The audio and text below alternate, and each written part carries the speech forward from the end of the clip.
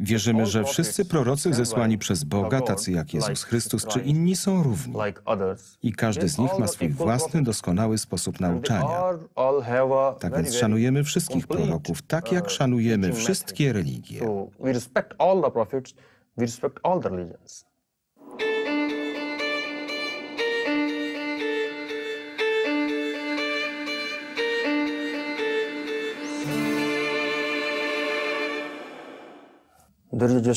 Jest tylko jeden Bóg. Bóg naszych narodzin, naszego życia i naszej śmierci. uh, Zgodnie więc z filozofią sikhijską wierzymy w jednego Boga, w jedną najpotężniejszą siłę. Between Wierzymy, że Boga i człowieka łączy taka sama więź, jaka łączy ojca i syna.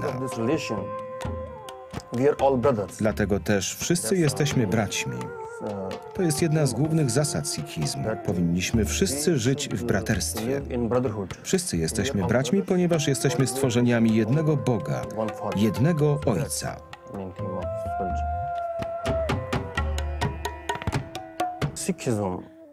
Sikhizm jest wiarą praktyczną. To nie jest wiara mnichów. Wierzymy, że Bóg wymyślił is dla nas grę. Zesłał nas ludzi na ziemię i żąda od nas, abyśmy czynili dobro. Uczy nas, jak żyć w praktyce.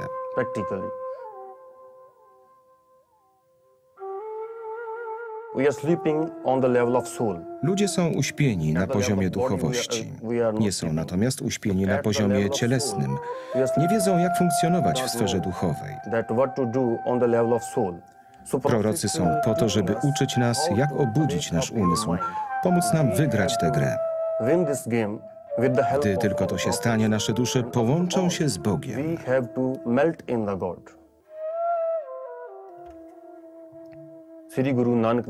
Guru Nanak nasz pierwszy prorok, był założycielem sikhizmu. Filozofia uczciwego i dobrego życia, którą Guru Nanak podarował ludzkości, nosi nazwę sikhizm.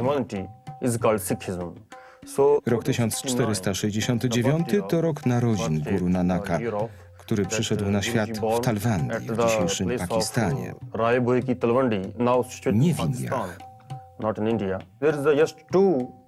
W tamtym czasie zwalczały się dwie religie, hinduizm i islam.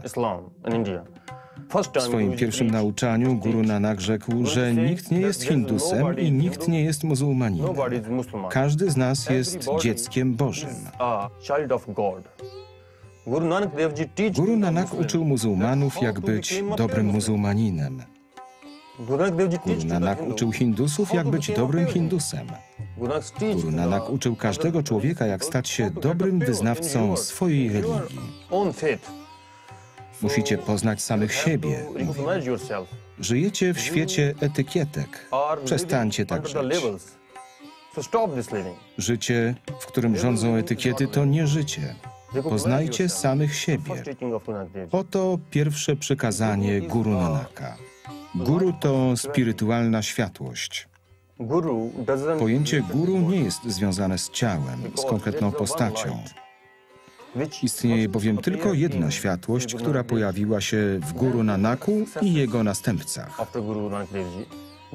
Guru Nanak miał dziewięciu następców. Oto ich imiona. Pierwszy Guru Nanak, drugi Guru Angad, trzeci Guru Amardas, czwarty Guru Ramdas, piąty Arjan, szósty Guru Hargobind, siódmy Guru Harrai, ósmy Guru Hai Krishan, dziewiąty Guru Tek Bahadur i dziesiąty Guru Gobind Singh. A następcą Guru Gobind Singha jest Guru Granth Sahib, który przewodzi nam do dziś.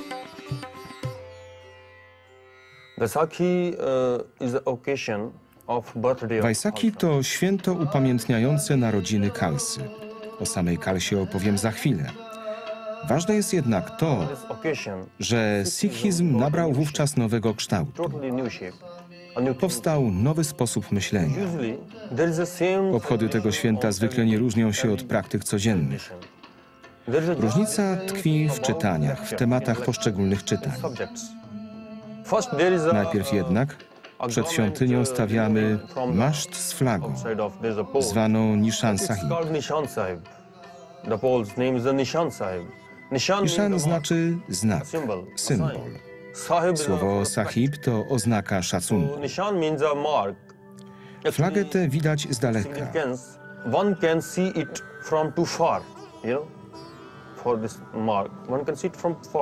Ktoś, kto zobaczy Nishan, wie, że w pobliżu znajduje się Gurdwara.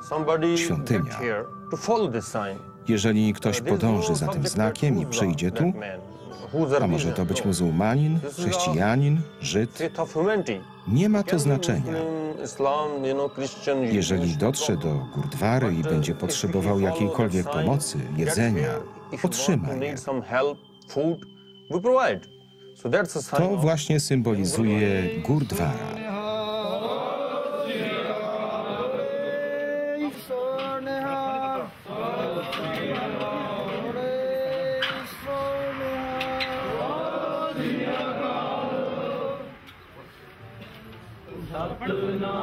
Satnam ਸਤਨਾਮ ਸਤਨਾਮ ਜੀ ਵਾਹਿਗੁਰੂ ਵਾਹਿਗੁਰੂ ਵਾਹਿਗੁਰੂ ਜੀ ਜਪੋ ਸਤਨਾਮ ਸਤਨਾਮ ਸਤਨਾਮ ਜੀ ਵਾਹਿਗੁਰੂ Waheguru So this, that's the time of lecture.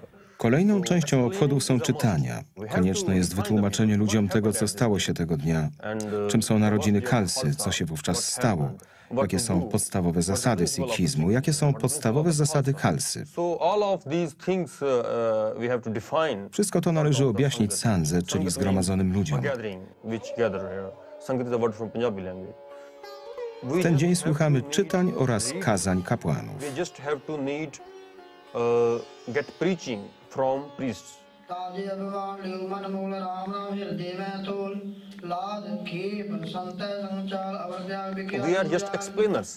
My, kapłani, jesteśmy tylko tłumaczami guru Granth Sahib, nic ponadto. Uczyliśmy się objaśniania pieśni guru Granth Sahib. About explain him of Guru Granth Sahib My jesteśmy tłumaczami, inni są słuchaczami.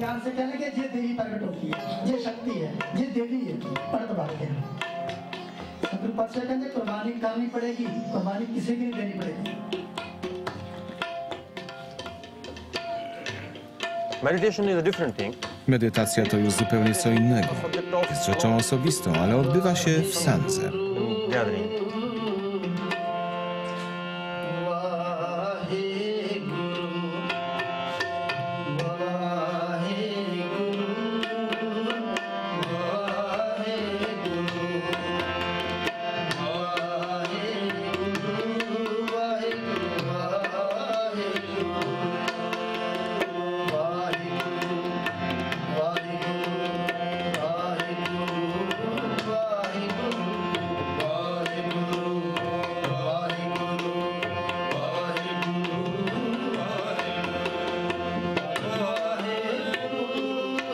The last of the last moments of the ceremony, everybody Na koniec ceremonii wszyscy wstają i ze złożonymi rękami odmawiają modlitwę. Ten moment nosi nazwę Arras, co oznacza dosłownie modlitwę, ostatnią modlitwę. To jest najważniejsza część obchodów. Uh, Każdy staje przed guru, składa dłonie i modli się. uh, front of the Guruji and uh, praying. We want a good Modlimy się o szczęście dla każdego word, człowieka. Ludzie przynoszą do świątyni owoce i inne pożywienie. Święcimy je i rozdajemy wszystkim zebranym w Gurdwarze.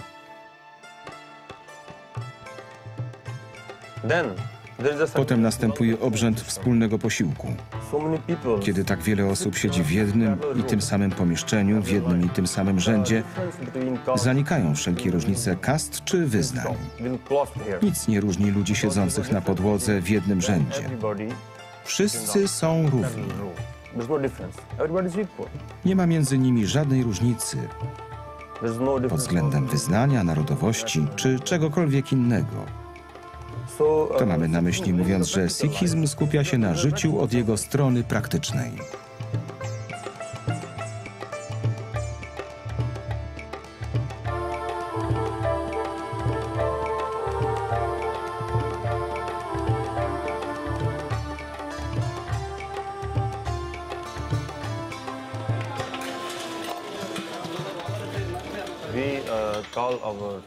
Nasz dziesiąty prorok nazywa się Guru Gobind Singh.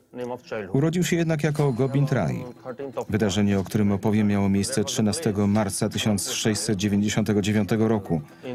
Było takie miasto w Pendżabie jak. Anandpur Sahib. Guru zaprosił tam wszystkich wyznawców. Zebrało się bardzo wielu ludzi. Jeśli wierzyć historycznym podaniom, było tam 18 tysięcy osób. Ludzie nie wiedzieli, po co zostali wezwani. Guru pojawił się na scenie i zażądał głowy któregokolwiek z wyznawców. Czy ktokolwiek z was poświęci się dla mnie? Nikt nie wstał.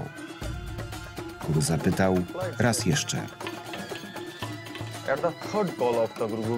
Na trzecie wezwanie guru człowiek imieniem Dayaram, pochodzący z miasta Lahore w Pakistanie, powstał, stanął przed guru i powiedział: Ja jestem gotów. Jestem gotów.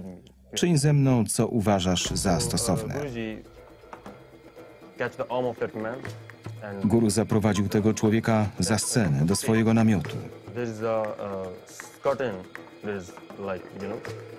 So when Guruji A kiedy powrócił na scenę, był sam. Trzymał w dłoni miecz ociekający krwią. Takich wyznawców było pięciu. Pięciu mężczyzn powstało i stawiło się na wezwanie guru.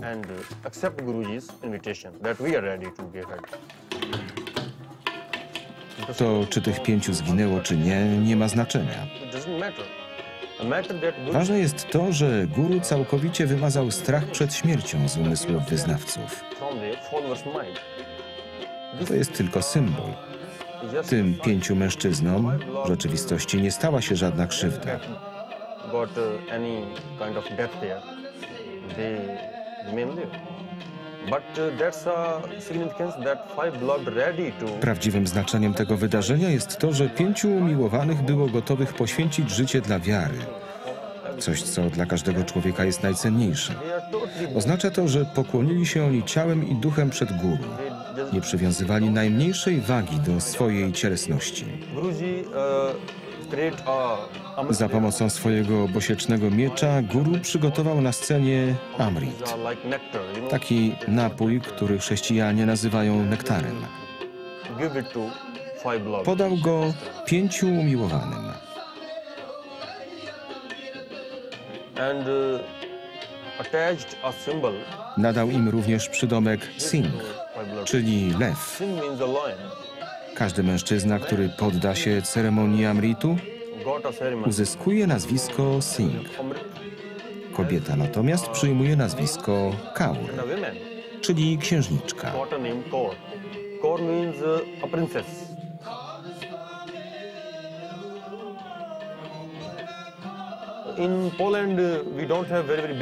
Polska społeczność sikhijska jest nieliczna, ale w innych krajach Sikhów jest bardzo wielu. Tak więc podczas Baisaki organizuje się ceremonię Amritu. Amrit Pięciu Sikhów reprezentuje pięciu umiłowanych. uh, Przygotowują oni Amrit i podają wszystkim chętnym.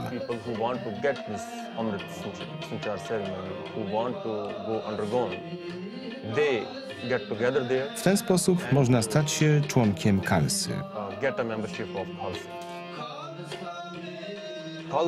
Kalsa oznacza dosłownie bractwo czystych.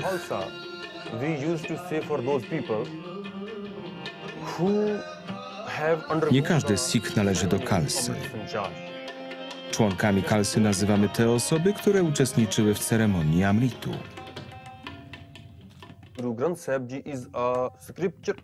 Księga Guru Granth Sahib jest zbiorem pieśni, hymnów. Uh. Nie są to tylko hymny skomponowane przez guru. Znajdują się tu pieśni pochodzące z innych wyznań, islamskie, hinduskie.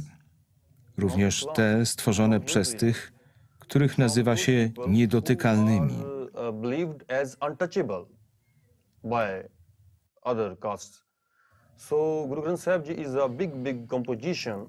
Ten wielki zbiór, jakim jest Guru Granth Sahib, został zapoczątkowany przez piątego proroka Guru Arjana w roku 1704.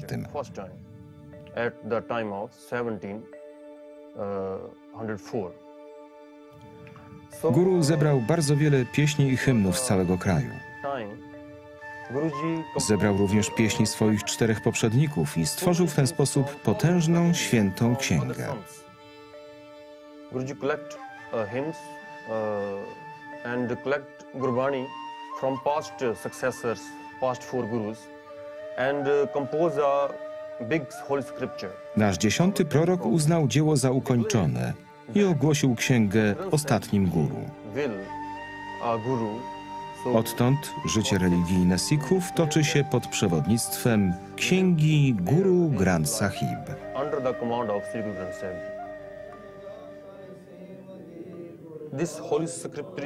To święte pismo nie jest zwykłą książką. To jest żywa istota.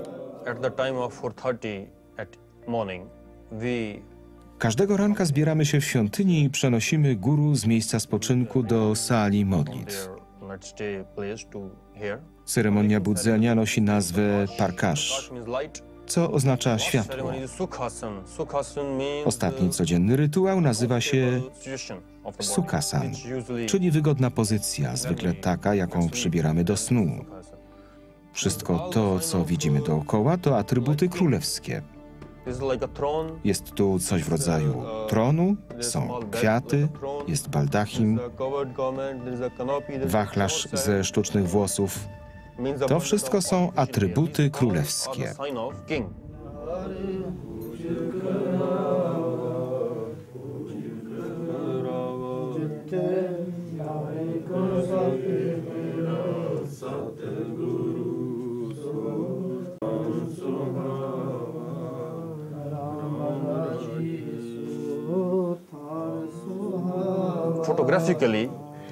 Oryginał napisany został w Gurumki, dialekcie pendżabskim. Dzisiaj istnieją również inne wersje językowe, na przykład angielska. W sikhizmie wszystkie ceremonie religijne muszą się odbyć pod przewodnictwem Guru Granth Sahib. child uh, Kiedy rodzi się dziecko, przynosi się je do Gurdwary i wybiera imię, którego pierwsza litera jest taka sama jak pierwsza litera losowo wybranego hymnu. that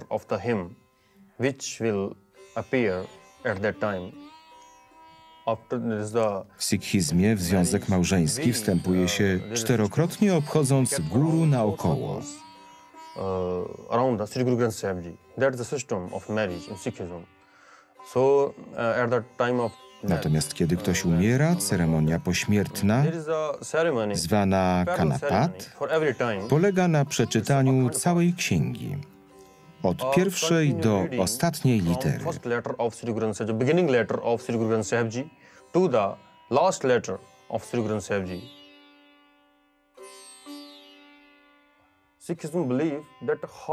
Sikhizm uczy, jak żyć tu na ziemi. Uh, To jest jedna z głównych nauk Guru Nanaka. Guru przekazał nam trzy główne zasady postępowania. Uh, uh, Pierwsza to medytacja. Nakazał nam kontemplować imię Boga i my to uwzględniamy w naszym codziennym rozkładzie zajęć. uh. Najlepszą porą na medytację jest godzina trzecia lub szósta rano. Jeżeli ktoś chce medytować zgodnie z przykazaniem Guru Nanaka, uh, używa do tego imienia Boga, które brzmi Sri Guru then there is a name Vahiguru. Vahiguru is a combination of two. Wyraz Vahiguru to zbitka dwóch słów i oznacza dosłownie niszczyciel ciemności.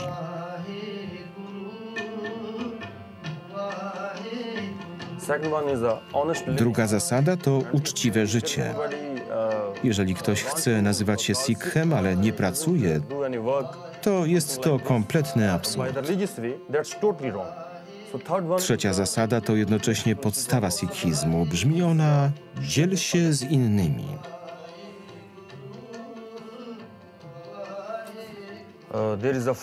Case Każdego Sikha obowiązuje zasada pięciu K. uncut shorn hair. Pierwsze K oznacza noszenie nieobciętych długich włosów.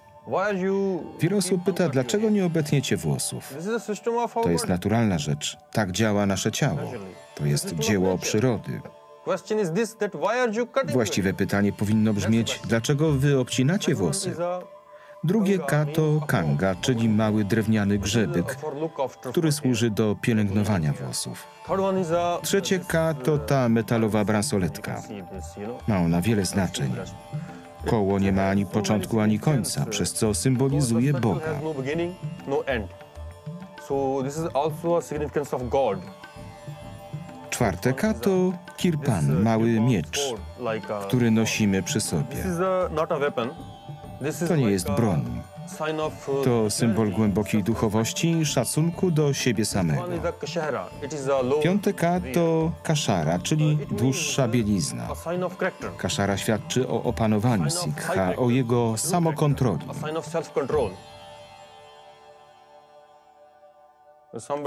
Kiedy ktoś przychodzi do mnie i pyta, jak może zostać Sikhem, odpowiadam: zmień swój sposób myślenia, a staniesz się Sikhem. To nie jest tylko kwestia takiej czy innej ceremonii. Zmień swój sposób myślenia, a staniesz się Sikhem. thinking. You will be sick.